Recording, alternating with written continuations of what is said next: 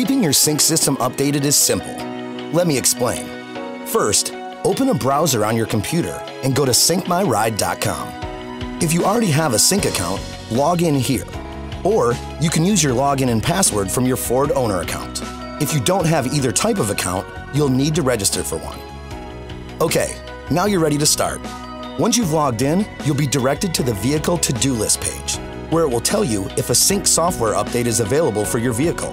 Click Get Update, then the Download Sync Update button. You'll be instructed that you'll need an empty USB drive that holds at least 2 gigabytes of data and is not password protected. Now, click Start Download Process.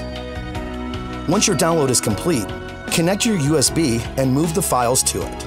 To do so, find the zip file on your computer's hard drive and unzip it. Then, drag all the files onto your USB drive.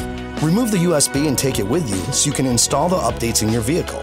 Keep in mind, if you don't unzip the file, Sync will not recognize it. Once you're in your car, the update will take a few steps. Turn on your vehicle and your radio and plug in the USB drive. Press the Begin Software Installation bar on your screen. Sync will talk to you to let you know that it is about to begin. And you'll see a message telling you that the update may take up to 30 minutes to complete. Press the OK button on that screen to let Sync know you are ready to begin. Your system will reboot, and a progress bar will come up on your screen. Once this segment is done, you'll see a series of messages, dark screens, and status bars that repeat several times while your system is rebooting and updating. Don't worry, this is normal. You'll see the home screen briefly, a progress bar, and then a message that you have successfully updated your sync software, with a reminder to visit syncmyride.com to confirm that your install was successful.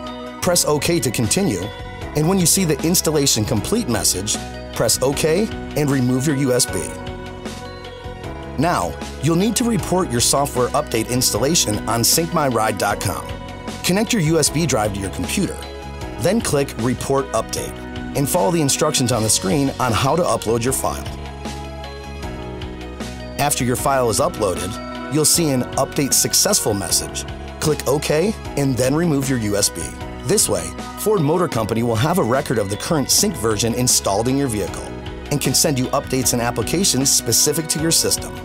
You can also keep track of the latest installations on the Vehicle To-Do List page of the website. Of course, if you're having trouble with your updates or would rather not do them yourself, you can always visit your dealer. Any questions? Go to syncmyride.com.